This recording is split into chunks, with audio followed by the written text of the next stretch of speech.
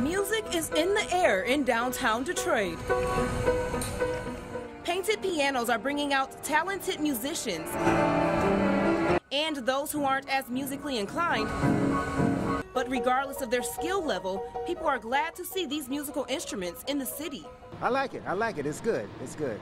I think it's great to have the art and the creativity out in the open for the public to see. Bedrock Real Estate Services placed these pianos out because they want to give Detroit something new to enjoy. We have such a rich history in music and art that this kind of brings that together with something as simple as a painted piano that you can enjoy any time of day.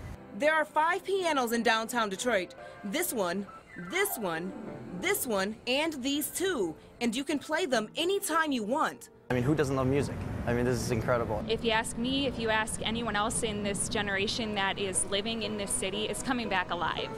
And this is just one way that you can see it. Yeah, it's great hearing different people play play all their uh, different songs and here's all the musical talent that there is here in the city. These pianos aren't just about music, it's also bringing people out, making them socialize with others. And every now and then you might catch someone who's willing to give you a free lesson. It took some time, but we finally got our duet right. And then eight year old John Pierce came up and showed us out.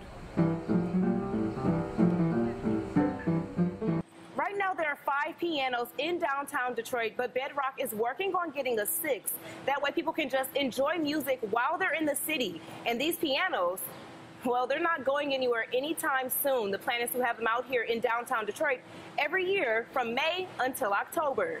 In downtown Detroit, Kristen Pierce, the Now Detroit.